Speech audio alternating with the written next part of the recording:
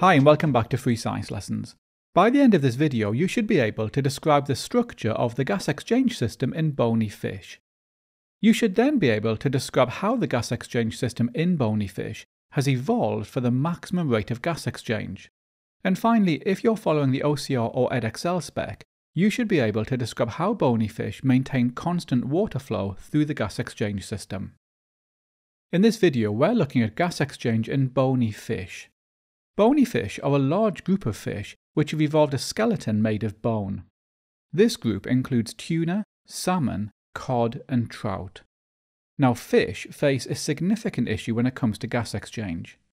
Bony fish are large and active organisms with a very high oxygen requirement, and because of their large size, they've got a very low surface area to volume ratio. And the scaly surface of bony fish does not allow gases to pass through. Fish get their oxygen from the water, but the concentration of oxygen in water is much lower than in air. So, for these reasons, bony fish have evolved a specialized gas exchange system, which can extract the maximum amount of oxygen from water. If we look closely at bony fish, we can see a flap of tissue on either side, slightly behind the head.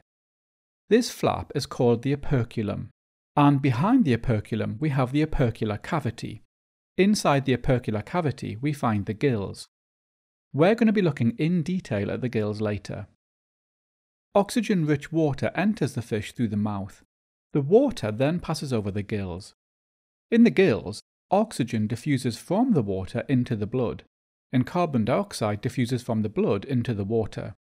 And finally, the water passes out through the opercular opening. Now, the fish I'm showing you here was born with a missing operculum and we can clearly see the gills here in the opercular cavity. Okay, let's take a closer look at the structure of gills.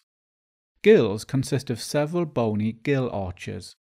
Extending from each gill arch are a large number of gill filaments. I'm showing you a diagram of the gill filaments here. As you can see, many pairs of gill filaments extend from each gill arch. Gill filaments are covered with numerous gill lamellae, which are also sometimes called gill plates, and the gill lamellae are where gas exchange takes place. Water flows between the gill lamellae. Oxygen diffuses from the water into the bloodstream, and carbon dioxide diffuses from the bloodstream into the water.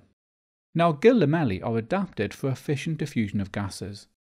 Firstly, gill lamellae have a massive surface area for gases to diffuse over. Secondly, there's a very short diffusion distance through the walls of the lamellae and into the bloodstream. And lastly, gill lamellae have an extensive network of blood capillaries. Once oxygen diffuses into the blood, it's carried away, and this maintains a steep concentration gradient for oxygen.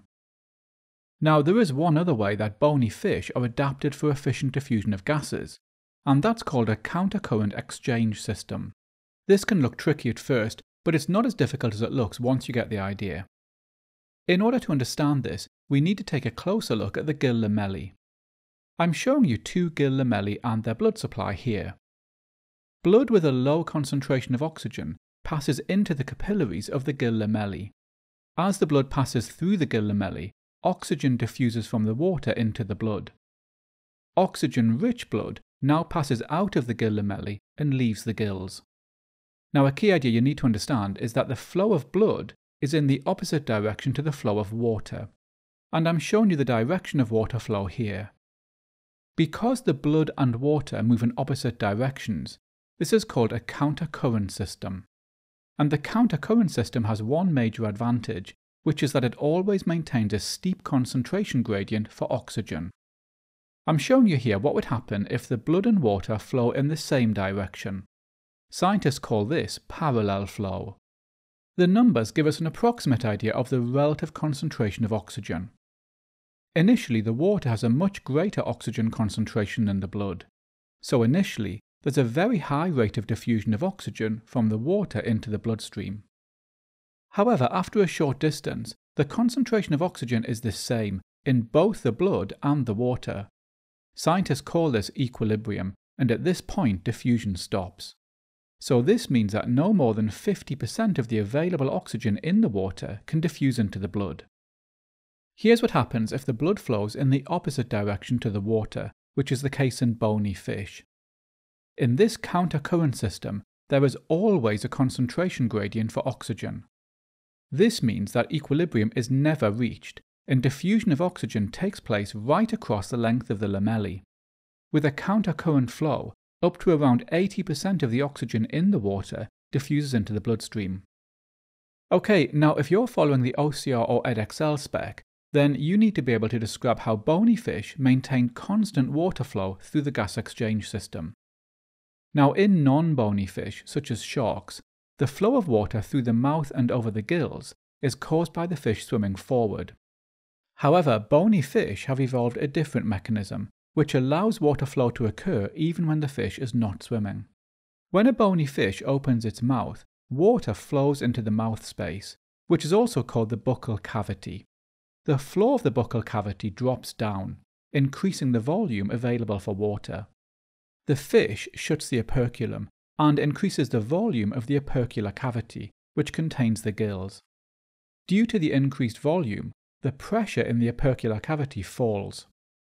At the same time, the floor of the buccal cavity lifts upwards. This increases the pressure of the water, causing the water to flow over the gills in the opercular cavity.